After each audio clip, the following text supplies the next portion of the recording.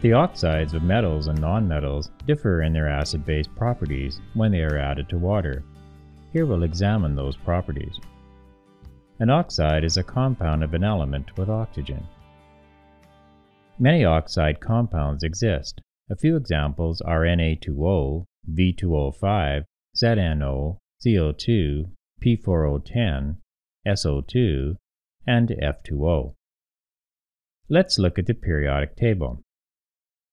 Remember we can draw a staircase here, where metals are on the left side of the staircase and nonmetals are on the right side. A metal oxide is a compound of a metallic element with oxygen.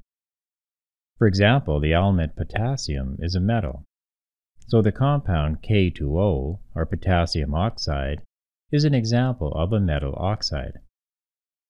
A nonmetal oxide is a compound of a nonmetallic element with oxygen.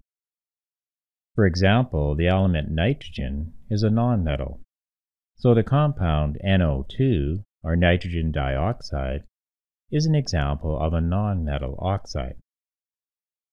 It has been found experimentally that when metal oxides are added to water, they produce basic solutions. And when nonmetal oxides are added to water, they produce acidic solutions.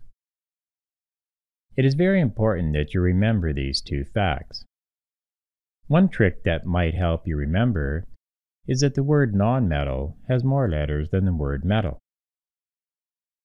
And the word acidic also has more letters than the word basic.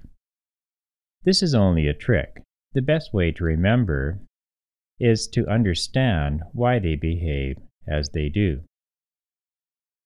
See the two videos, metal oxides and non-metal oxides, to get a better understanding of how oxides behave in water solutions.